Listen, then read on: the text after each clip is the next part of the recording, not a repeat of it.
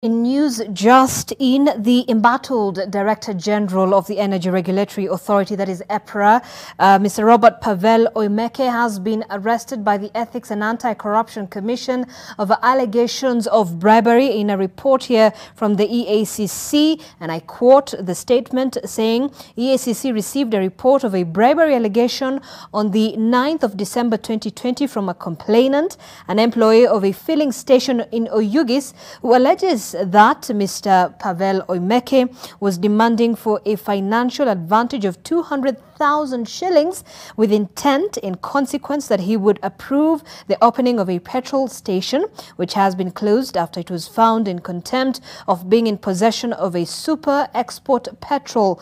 The station was fined 309,000 309,842 shillings by KRA, which they later paid and were issued with a clearance letter to be taken to the DG at EPRA to enable him authorize the opening of the station. Now, this is just news in, and we'll be getting more details on what exactly is happening. But the Ethics and Anti-Corruption Commission says the suspect is being held currently at the Integrity Center Police Station pending further investigation. This is with regards to the arrest of Robert Pavel Oimeke, the Director General of the Energy Regulatory Authority, that is EPRA. And this is just three months after he was reinstated.